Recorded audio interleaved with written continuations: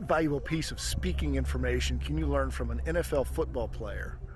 Well, the answer to that question can be found in your next daily dose of public speaking wisdom.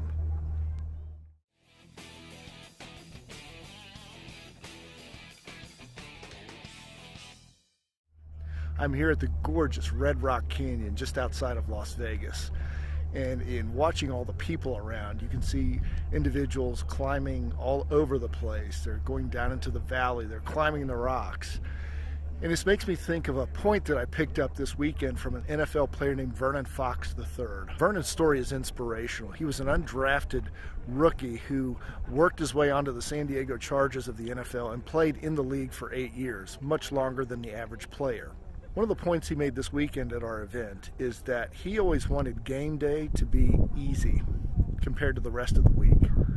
In other words, his coach worked them so hard that by the time they got on the field for the game, they were prepared for any situation and could handle those pressure moments.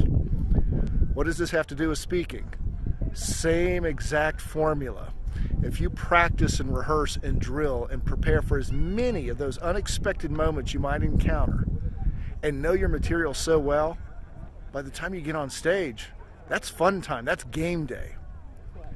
So, my tip for you today is think like an NFL football player. Make your practice, those six days of the week when you're not speaking, make that your hard work. By the time you get on stage in front of an audience, be fully prepared. That's when you'll have more fun and leave a lasting impact. See you on our next Daily Dose of Public Speaking Wisdom.